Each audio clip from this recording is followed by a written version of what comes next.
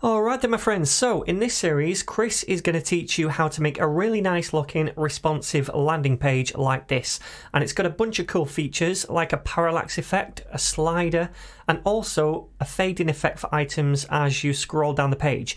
So there's loads of stuff to get your teeth into and learn about. Now I'm sure a lot of you already are familiar with Chris because he's featured on my channel a few times before but in case you're not, Chris is a really really good web dev creator from the Coding in Public channel. He's got loads of tutorials and project builds on there, which I really think complement my own tutorials. So definitely go and check it out and subscribe to his channel. You will not regret it. The link to his channel is going to be down below the video. Anyway, without further ado, I'm going to pass you over to Chris, who's going to teach you how to make this landing page from scratch.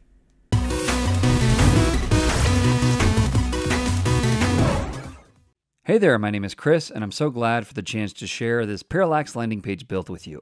I love to teach web development through realistic project builds. During the course of this series, we'll use HTML, Tailwind CSS, and vanilla JavaScript to create a responsive parallax landing page from scratch.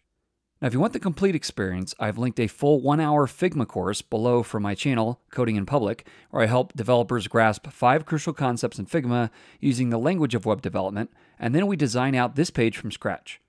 Whether you take the design and code path or just jump right into the series, I hope it'll help you cement key topics for website builds. A few notes here before we begin. In this series, I'll assume you have a working knowledge of both Tailwind and JavaScript. I've tried to include something for everyone, like several new Tailwind 3.1 features and some interesting UX UI challenges we'll tackle with vanilla JavaScript. For instance, we'll use the Intersection Observer API to performantly fade in text on scroll. And the slider also holds some interesting challenges. Because it continues off screen to the right, we'll have to figure out how to add a disabled attribute to the slider navigation button at just the right time, whatever the screen size and however many times it takes to click it to move it to the last image.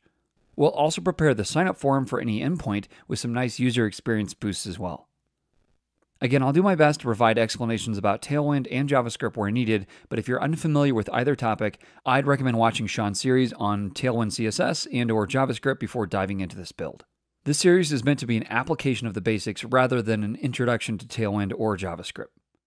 One more note if you ever get stuck during the build, I'll include a link in the description to the GitHub repository where you can find code for each lesson.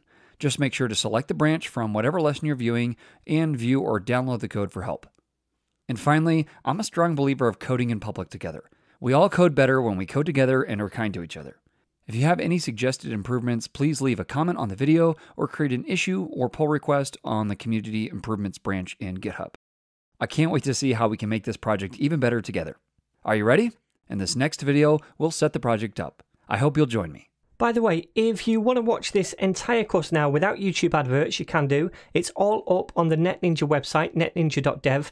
You can buy the course for $2 to get instant access to all of it, or you can sign up to NetNinja Pro and get instant access to all of my courses without adverts, as well as premium courses not found on YouTube, including my Udemy ones.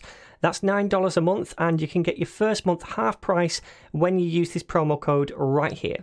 So I'm going to leave this link down below in the video description for you to sign up. And I really hope you enjoy this series. And please do not forget to share, subscribe, and like the videos. That really helps a lot. And I'm going to see you in the very next lesson.